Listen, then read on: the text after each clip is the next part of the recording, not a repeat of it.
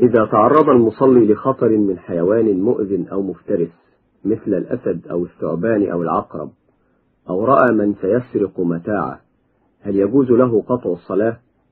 وهل يجوز له أن يكملها بعد التخلص من الخطر أو عليه أن يصليها من جديد؟ وهل يجب لقطعها أن يسلم حتى لو كان واقفا؟ من رأى عقربا تقترب وهو مصل ويخشى أن تلدغه وجب عليه أن يقتلها.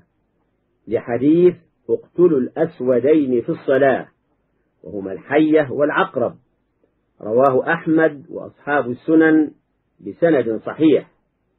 ولا تبطل الصلاة بهذا العمل لأنه للضرورة. وجاء في نيل الأوطار للشوكاني أن الحديث يدل على جواز قتل الحية والعقرب في الصلاة من غير كراهة. وقد ذهب إلى ذلك جمهور العلماء كما قال العراقي. وعن قتادة أنه قال إذا لم تتعرض لك فلا تقتلها. بل روي عن ابن عمر أنه رأى ريشة وهو يصلي فظن أنها عقرب فضربها بنعله.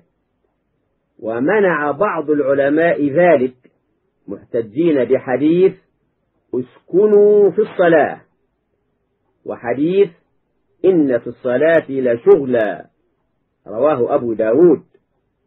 ولكن الجمهور ردوا عليهم بأن هذه الأحوال مخصصة لعموم هذا الحديث. وهكذا يقال في كل فعل كبير ورد الإذن به كحديث حمله صلى الله عليه وسلم لأمامة في الصلاة وكذلك خلعه لنعله وصلاته على المنبر ونزوله للسجود ورجوعه بعد ذلك وحديث أمره بدرء المار أمام المصلي وإن أفضى إلى المقاتلة. وحديث مشيه لفتح الباب لعائشة وكان مغلقا. وكان الباب جهة القبلة وبعد الفتح عاد إلى مقامه.